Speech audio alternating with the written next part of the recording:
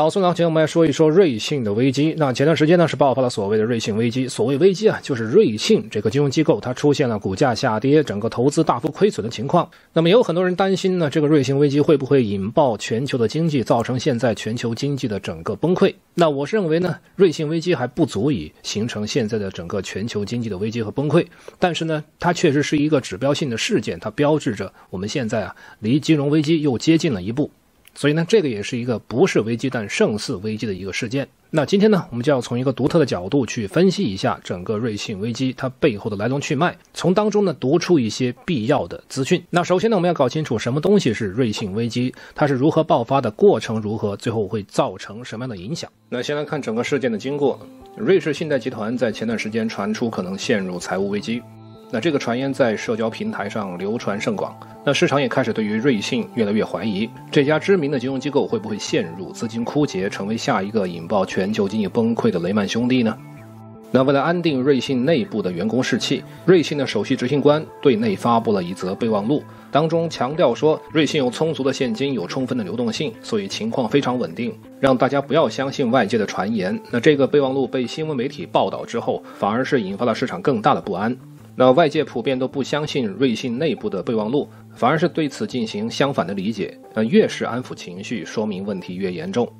那结果，瑞信的股票出现了明显的下跌，在十月初的时候下跌非常急速。那与此同时，瑞信的 CDS 信用违约交换价格从两百三跳到三百七，那之后有所回落，但是依然是维持在三百二十以上。那信用违约交换这是一种金融衍生品，它随着金融信用的下跌而上升，而在信誉提升时下跌。那这个数据大幅提高，就说明瑞信的信用在大幅下跌，市场正在对它失去信心。这个时候呢，新闻媒体的评论就铺天盖地，都在担心瑞信会不会因此垮掉。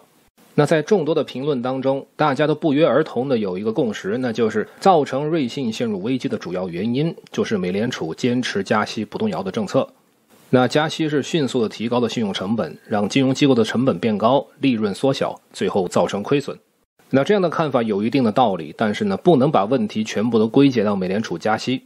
那实际上，金融危机是多方因素共同形成的结果。那我用这个示意图来直观的看一下整个流程。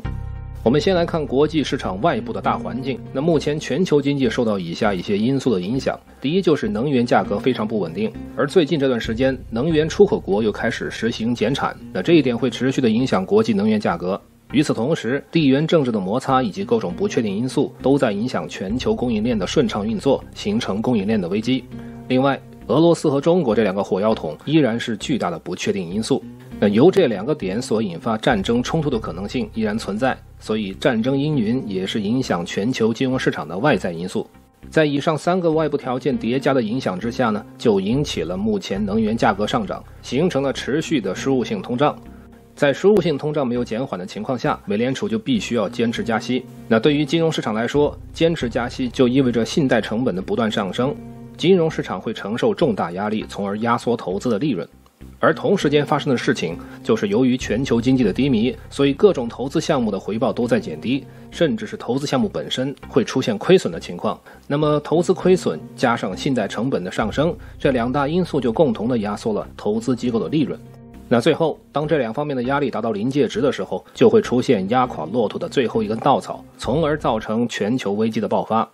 那我们简略梳理一下整个危机的流程示意图，就可以看到。危机形成的直接原因，第一是因为信贷成本上升，第二是投资项目本身出现亏损，它并不是加息这个单一原因造成的问题。那因此呢，把所有问题都归结到美联储身上，这个看法并不客观也不公平。美联储不可能承担全部责任，虽然它要负相当一部分责任。那实际上，我们除了看这种利率的外因之外，更要看金融机构内部的内因。那实际上呢，所有的金融机构，不管是瑞信还是其他金融机构也好，大部分呢都是有这种内部监管混乱、胡乱投资的情况。那么实际上，如果我们检索瑞信这个机构内部的很多资讯的话，就会看到，从历史来看，它内部的问题非常的多，所以这方面的问题可能是真正的风险。这个风险呢，是比外部的利率风险更高的风险。那我们先通过财务数据来看一下瑞信经营的状况。根据瑞信的财务损益表，二零二一年瑞信的净收入增速是负的百分之一百六十一，而在前一年，也就是二零年，净收益的增速是负百分之二十一点九。那今年的全年数据还没有出来，但是截止到目前来看，过去的十二个月，瑞信的净收益总额是超过负的三十五亿瑞士法郎。那也就是说呢，瑞信这个企业在二零年的时候，它的收益就已经开始下降，而到了二一年之后就出现大额亏损。那现在估计这个亏损额会更多，所以它是一个近期出现严重亏损的金融机构。那我们再换个角度，从新闻消息方面来盘点一下最近一年瑞信的新闻。可以看到，进入二二年以来，关于瑞信最主要的新闻都是投资出现亏损、内部更换 CEO 和管理层，以及采用各种办法来削减运营的成本。那基本上是以负面为主。所以呢，现在像穆迪和标普等等评级机构都在几个月以前下调了瑞信的评级。那为什么表面高大上的瑞信会搞到现在这样灰头土脸、一亏到底呢？这个就涉及到瑞信的企业文化以及它内部管理的问题。我们来看一下最近对于瑞信造成重大打击的两个事件：第一个是格林希尔的破产事件，第二个是比尔黄的家族办公室爆仓事件。那格林希尔资本它经营的业务，官方听起来非常的高大上，叫做供应链金融业务啊，其实说穿了就是给供应链上下游企业提供货物的短期垫付款。同时呢，他也根据发票和信用卡记录，向很多财务不稳定的中小企业发出贷款。那这些贷款又被打包成证券产品卖给市场。那瑞信旗下的基金之前就大量买入了格林希尔发行的这种证券产品，结果这笔借贷又被格林希尔和他背后的软银单方面注销，就直接造成瑞信四点四亿美元的损失。在二一年三月，格林希尔也宣布破产。更有名的是第二个事件，它直接造成瑞信亏损超过五十五亿美元。那事情的起因呢，就是这个叫做比尔黄的人，他号称全世界用最短的时间亏掉最多钱的投资者。他的旗下有一个家族办公室，叫做 Archegos。那瑞信和他们也有资金上的合作。在爆仓之前呢，比尔黄的投资还算比较成功，可是二一年的时候却翻了船。当时比尔黄重仓 Viacom 等等媒体公司，同时也是大量持有百度等等中概股。结果 Viacom 增发新股，造成股价连续大幅下跌。当时比尔黄面临保证金不足的问题。但是他没有选择认输止损，而是选择卖掉其他的股票来追加保证金，并且加仓投资，结果造成他持有的包括中概股在内的很多股票大跌。但是最后 v e l c o m 的股价也没有被拉起来，所以是全盘皆输。比尔黄也因此被称为两天亏掉两百亿美元的男人。那问题关键在于呢，比尔黄炒股的钱当中有相当一部分是他和华尔街的六大金融机构以五倍杠杆签下的总收益互换合约，也就是 TRS。那通过这个方法进入股市有什么好处呢？总收益互换合约是一种允许投资者在不公开披露头寸的情况下，可以买入大额杠杆股权的衍生品，对外的透明度几乎是零，因此呢风险极高。那么根据媒体报道，在二零二一年 Archegos 爆仓之前，那瑞信通过和这个家族办公室的资金合作是获得了一定的利润，但是这个爆仓事件造成瑞信的一次性巨亏，那之前的盈利相比之下呢，简直是微不足道。那瑞信这种所谓的国际知名金融机构，所谓百年老店，对外一直都是宣传稳健理性，专注于财富长期的增值，这种旗号就给人一种保守稳健的感觉。但实际上，现实情况却是瑞信的投资非常激进，风险很高。那最重要的是，它对于风险的管理有很严重的问题。那为什么瑞信内部会是这个样子呢？这个当中就涉及到瑞信这种金融机构，它对于自身定位的问题。那金融机构到底是做什么的？是为谁服务？它经营的目的又是什么？那这些问题我后面会讲。那再来看另外一个方面，就是瑞信在过去的记录上其实发生过各种各样的丑闻。我们来看英国卫报盘点的瑞信丑闻记录。那这些历史丑闻记录主要就包括洗钱、逃税以及客户的选择方面。那瑞信对于客户基本上是来者不拒，尤其他们喜欢权贵阶层和政治人物。那他的客户当中就包含一些独裁国家的政治首脑、政治上的贪污犯，还有违反人权的一些政客。这些人呢都是瑞信的客户。那前段时间，瑞信也有一个内部文件被披露出来，当中就涉及到高达一万八千个历史账户，一共超过一千亿美元的资金。那么，组织犯罪与贪腐报道计划这家网站就公开了部分的账户信息。那如果去查看这些历史账户，就能够发现，瑞信的主要客户群大部分都是政客，而且当中有很多是来自于一些比较敏感的国家。那么他们在瑞信存放的资产数额都不低。那这个也可以从另外一个方面帮助我们理解瑞信对于自己的定位，它是为什么样的阶层服务？而越是偏向于为特定阶层服务，那么内部的黑箱操作、违规操作的概率就越大。那所以这些问题呢，我们稍作梳理，就会发现事情不仅仅在于美联储加息，那更多的问题是瑞信自己的问题。那如果像瑞信这样一个知名机构，内部都是如此的管理混乱，各种黑箱操作不透明的话，那么其他的金融机构又能好到哪里去呢？所以如果你要问瑞信的现象到底是不是一个普遍的现象，那这个问题，我倾向于给出一个肯定的答案，就是说，瑞信的这种事情具有普遍性。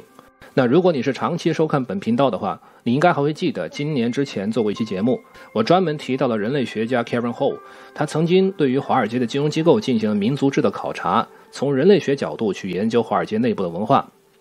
那我把这个研究进行了整体的总结。华尔街内部的文化和信仰，简要来说就是：第一，精英主义；第二，他相信市场有效；第三，他绝对的追求股东价值。但是呢，这三种文化自信，这三种信仰，当它不断的膨胀超过一定限度的时候，就会出现问题。他会没有办法进行自我管理和自我监督，开始胡作非为，走向反面。那具体来说，就是精英主义最后会形成一种骄傲自满的倾向。相信市场有效的市场原教旨主义，最后会造成这些机构反对监管、黑箱操作；而绝对的追求股东价值，就会让这些金融机构无度的逐利，无视任何风险，没有底线思维。那么，以上就是华尔街的三个自信，这三个自信就演变出三个自负。所以，华尔街金融机构的内在风险其实是非常高的。那它的这种内部文化，从某种程度上来说，已经是一种金融的土匪文化。所以，瑞信目前的情况，从文化和信仰角度来看，它具有普遍性，因此呢，也必然带来普遍的风险。那我们再回到节目一开始的金融危机流程图，那图中造成危机爆发的直接原因就是金融机构压力的上升超过了临界值。而机构压力上升有两个条件，第一就是信贷成本的上升，它是美联储造成的，这已经是一个定局；另外就是金融机构内部问题造成潜在的投资亏损，那这个部分现在已经逐渐从一种可能性成为了事实。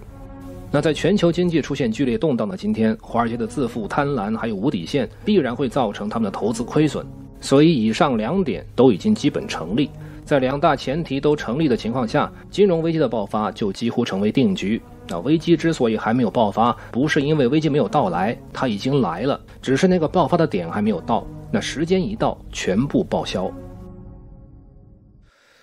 好，那么今天大致梳理一下瑞信的整个来龙去脉。这个事件呢，确实是一个非常具有标志性的事件，对此我也表示非常担忧。确实啊，我们距离金融危机是越来越近，每一步都在接近悬崖的边缘。但是为什么这一次危机不足以引爆全球经济呢？原因就在于啊。政府肯定会兜底，有关部门肯定会拯救濒于崩溃的这个金融机构。那这个当中的原因呢，就是从零八年之后，全球的监管机构都有一种大到不能倒的这种政策的执行空间。也就是说呢，所谓的 too big to fail 这个东西啊，已经成为了监管机构的一种文化。这个呢，可能是我们没有谈到的一面。所以今天我们只谈到金融机构内部的问题，但是我们没有谈到监管机构更大的问题。那要想全面的了解整个金融危机爆发的原理呢，我们还需要去梳理一下这个 too big to fail 的这个内部的问题。那这个我相信也是之后我们节目需要啊做的一个重点的话题。那好，今天就说这些，我们下次再见。